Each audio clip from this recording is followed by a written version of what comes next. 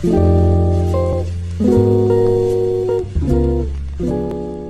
friends welcome back to സമു ചീസ് ഞാനിന്ന് വന്നിരിക്കുന്നത് ചോറിനും ചപ്പാത്തിക്കും ഒപ്പം കഴിക്കാനായിട്ട് നല്ല ടേസ്റ്റ് ആയിട്ട് വളരെ പെട്ടെന്ന് ചെയ്തെടുക്കാൻ പറ്റുന്ന വെണ്ടക്കയും മുട്ടയും വെച്ചിട്ടുള്ളൊരു കറിയുടെ റെസിപ്പിയുമായിട്ടാണ് തയ്യാറാക്കിയെടുക്കാനായിട്ട് വളരെ എളുപ്പമാണ് ടേസ്റ്റ് നല്ല അടിപൊളിയാണ്. അതിനുവേണ്ടി ഞാനിവിടെ എടുത്തിരിക്കുന്ന സാധനങ്ങൾ എന്തൊക്കെയാണെന്ന് നോക്കാം.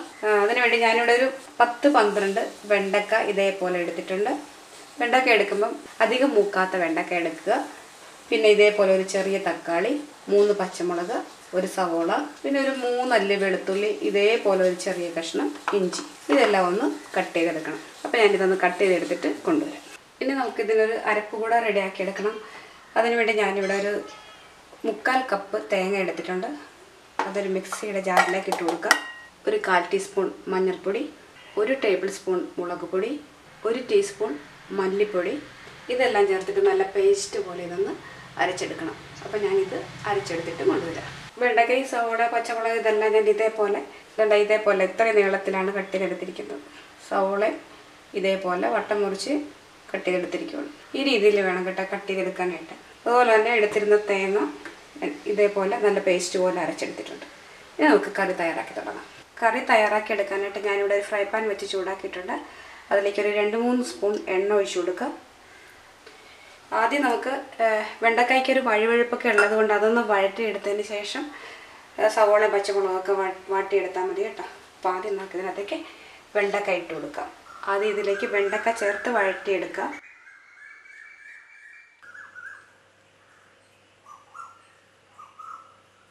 ഇതിന്റെ വഴുവഴുപ്പൊക്കെ ഒന്ന് മാറുന്നത് വരെ ഇത് ഒന്ന് വാട്ടി കൊടുക്കാം ഇങ്ങനെ വാട്ടിയെടുത്തിട്ട് കറി തയ്യാറാക്കുമ്പോഴാണ് കറിക്ക് നല്ല ടേസ്റ്റ് കിട്ടുന്നത് കേട്ടോ. അതല്ല എങ്കിൽ വാട്ടാൻ ഇടുവാണെങ്കിൽ വെണ്ടക്കയൊക്കെ ഒന്ന് പൊട്ടിയിട്ട് അതിന്റെ വഴു കറിക്ക് ഒരു വഴുവഴുപ്പായിരിക്കും. അതുകൊണ്ട് ഇങ്ങനെ ഒന്ന് വാട്ടിയെടുത്തിട്ട് വേണം ഈ വെണ്ടക്ക കറിയൊക്കെ തയ്യാറാക്കുമ്പോൾ. മെഴുക്ക് പുരട്ടിയോ തോരനോ എന്ത് തയ്യാറാക്കിയാലും വെണ്ടക്ക ആദ്യം ഒന്ന് നല്ലതുപോലെ ഒന്ന് വാട്ടിയെടുക്കണം.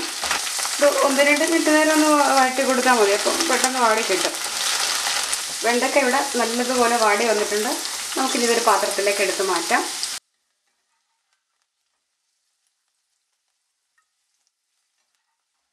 ഇനി നമുക്ക് ഈ- എണ്ണയിലേക്ക് തന്നെ ബാക്കിയുള്ള ഇൻഗ്രീഡിയൻസ് ചേർത്ത് വഴറ്റിയെടുക്കാം കേട്ടോ. എണ്ണ കൂടുതലാണെങ്കിൽ കുറച്ച് മാറ്റാം. പക്ഷേ ഇവിടെ കൂടുതലൊന്നുമില്ല. ഇനി അതിനകത്തേക്ക് ഇഞ്ചി വെളുത്തുള്ളി ഇട്ട് കൊടുക്കാം.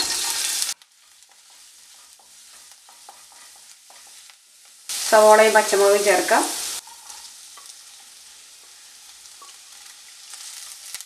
നന്നായിട്ട് വഴറ്റി കൊടുക്കുക. കറിക്ക് ആവശ്യമുള്ള ഉപ്പ് കൂടി ചേർത്ത് വഴറ്റിയെടുക്കാം.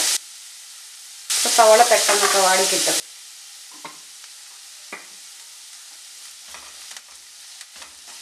ഇതിലേക്ക് അല്പം കറിവേപ്പിലയും കൂടെ ചേർത്ത് കൊടുക്കുക. സവോള നമുക്ക് നല്ലതുപോലെ ഒന്ന് വഴറ്റിയെടുക്കണം. ഇത് നല്ലതുപോലെ വഴണ്ട് വരട്ടെ. സവോള ഇവിടെ നല്ലതുപോലെ വാടി വന്നിട്ടുണ്ട്.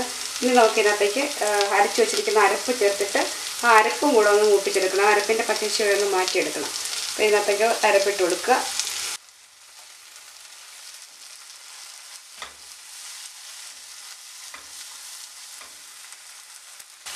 അരപ്പ് ഈ എണ്ണയ്ക്കകത്ത് കിടന്നത് മൂത്ത് വരണം.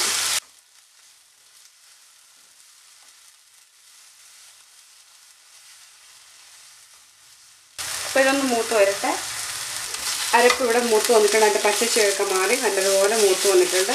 പിന്നെ നമുക്ക് ഇതിനകത്തേക്ക് അതിന്റെ ആവശ്യത്തിന് വെള്ളം ചേർത്ത് കൊടുക്കാം. ആ മിക്സിയുടെ ജാറൊക്കെ കഴുകിയ വെള്ളം ഇതിനകത്തേക്ക് ഒഴിച്ച് കൊടുത്താൽ മതി. ഒരു ഒന്നര കപ്പ് വെള്ളം എടുത്തിട്ടുണ്ട്.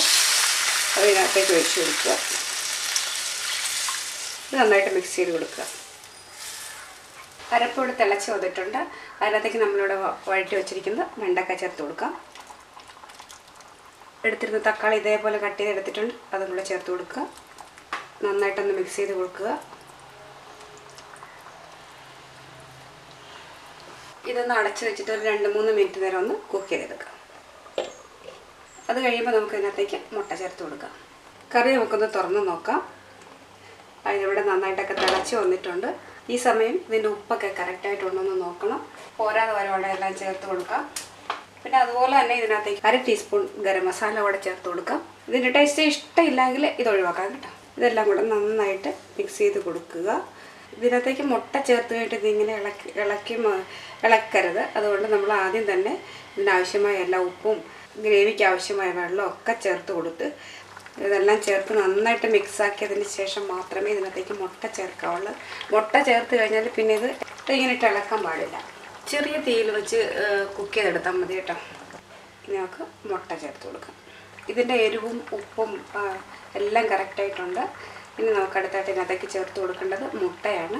ഞാനിവിടെ മൂന്ന് മുട്ട ഇതേപോലെ പുഴുങ്ങി രണ്ടായിട്ട് മുറിച്ചെടുത്തിട്ടുണ്ട്. അതിനകത്തേക്ക് ചേർത്ത് കൊടുക്കാം.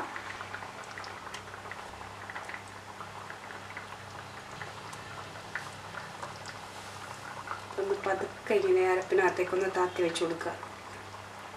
മുട്ട മുഴുവനോട് ചേർക്കണമെങ്കിൽ അങ്ങനെ ചേർത്താലും കുഴപ്പമില്ല. ഇതിങ്ങനെ മുറിച്ച് ചേർക്കുമ്പോൾ അതിന്റെ മസാലയൊക്കെ അതിന്റെ ആ ഉള്ളിലേ നന്നായിട്ട് പിടിച്ച് കിട്ടുമല്ലോ. ഗ്രേവി തിക്കായി പോയി എന്ന് തോന്നുവാണെങ്കിൽ ഒരല്പം തിളച്ച വെള്ളം ഒഴിച്ച് കൊടുക്കാം. പക്ഷേ ഇത് ഇതിവിടെ കറക്റ്റായിട്ട് വന്നിട്ടുണ്ട്. ഇങ്ങനെ ഒന്ന് പതുക്കെ ഒന്ന് ഇളക്കി വെച്ച് കൊടുത്താൽ മതി. വീണ്ടും അടച്ചു വെച്ചിട്ട് ഒരു രണ്ട് മൂന്ന് മിനിറ്റ് നേരം കൂടെ ഒന്ന് കുക്കാക്കി എടുക്കുക. ചെറിയ തീയിൽ വെച്ച് കൊടുത്താൽ മതി കേട്ടോ. കറി നമുക്ക് റെഡിയായെന്ന് നോക്കാം. ആ കറി ഇവിടെ എണ്ണയൊക്കെ തെളിഞ്ഞ് നല്ലതുപോലെ വന്നിട്ടുണ്ട്. ഇത്രയും മതി നോക്കി ഇനി സ്റ്റൗ ഓഫ് ചെയ്ത് വയ്ക്കാം ചോറിന്റെയും ചപ്പാത്തിയുടെ ഒക്കെ ഒപ്പം കഴിക്കാനായിട്ട് നല്ല അടിപൊളി ടേസ്റ്റിൽ തയ്യാറാക്കി എടുക്കാൻ പറ്റിയ വെണ്ടക്കയും മുട്ടയും കൊണ്ടുള്ള കറി ഇവിടെ റെഡി റെഡി ആയിട്ടുണ്ട്. ഇഷ്ടമായാൽ എല്ലാവരും ഒന്ന് ട്രൈ ചെയ്ത് നോക്കുക. ട്രൈ ചെയ്ത് നോക്കിയിട്ട് നിങ്ങളുടെ വിലയേറിയ നിർദ്ദേശങ്ങളും അഭിപ്രായങ്ങളും ഒക്കെ അറിയിക്കുക.